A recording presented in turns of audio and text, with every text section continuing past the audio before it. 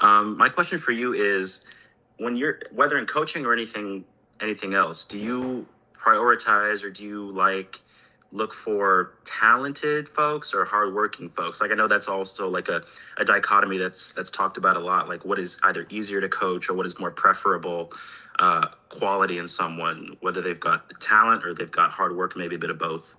Yeah. Um. So a a, a, really good question. Y'all got some good answers.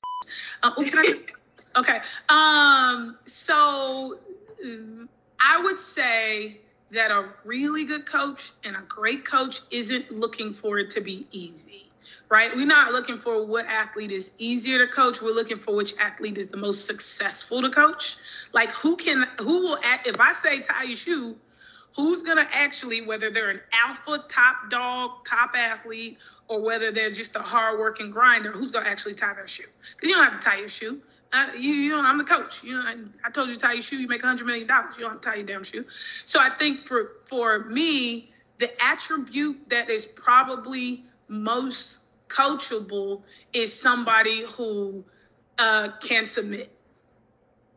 That is the most coachable athlete in a leader, an executive, an alpha athlete.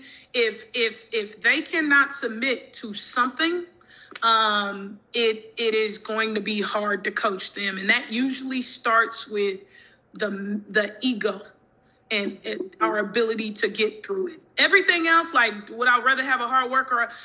I'd rather have Michael Jordan every time. Like I'd rather have the best possible athlete every single time. But even Mike had to submit. Even Serena had to get coaching. Right? Everybody um, who has been great or who has helped the team win has to has to submit um, and not do something they want to do.